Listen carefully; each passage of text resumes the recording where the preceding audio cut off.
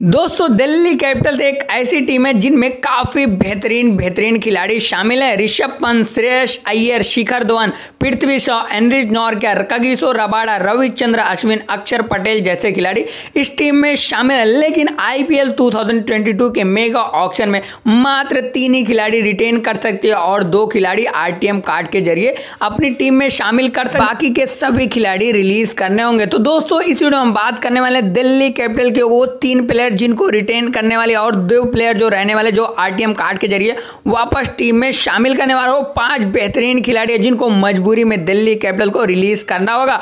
और वो पाँच प्लेयर कौन से हैं जिन पर हंड्रेड परसेंट टारगेट करने वाली है दिल्ली कैपिटल तो दोस्तों, पूरा वीडियो अंत तक ज़रूर देखना और अगर आप इस चैनल पर नए हो तो चैनल को सब्सक्राइब करके बेल आइकन दबा देना ताकि हमारी लेटेस्ट वीडियो आपको सबसे पहले देखने को मिले। तो आइए, चलो देखते हैं। सबसे पहले बात करते हैं रिटेल प्लेयर्स की।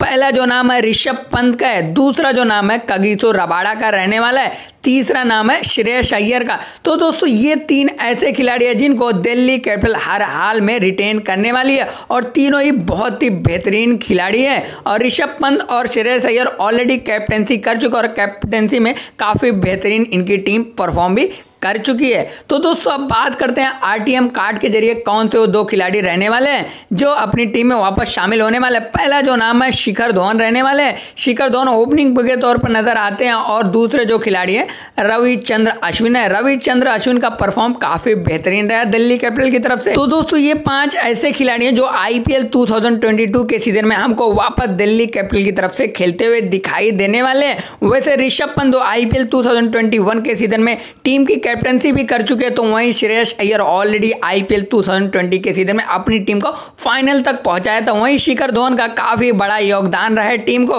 वहीं कगिसो रबाड़ा का भी काफ़ी बेहतरीन परफॉर्म रहा है। तो आइए चलो देखते हैं वो पाँच खिलाड़ी जिनको मजबूरी में रिलीज़ करना होगा टीम को। सबसे पहला जो नाम है पृथ्वी शॉ का है। दूसरा जो नाम है अक्षर पटेल का रहने वाला है। तीसरा जो नाम है स्टीव स्मिथ का है। चौथा जो नाम है अजिंक्य रहाने का है। पांचवा जो नाम है अवेश खाना ये पाँच खिलाड़ियों के साथ साथ बाकी सभी खिलाड़ियों को भी रिलीज़ करना होगा। लेकिन पाँच एक ऐसे खिलाड़ी हैं जो टीम को ही रीढ़ की हड्डी थे, लेकिन मजबूरी में रिलीज़ करना होगा टीम को।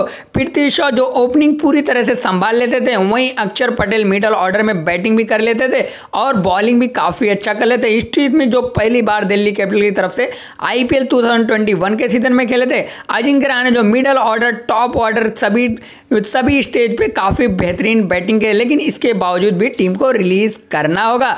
तो दोस्तों, और अब बात करते हैं टारगेट प्लेयर कौन कौन से रहने वाले हैं। दिल्ली कैपिटल पहला जो नाम है, वापस अक्षर पटेल का रहने वाला है। अक्षर पटेल को वापस टीम में शामिल करना ज़रूर चाहेगी दिल्ली कैपिटल।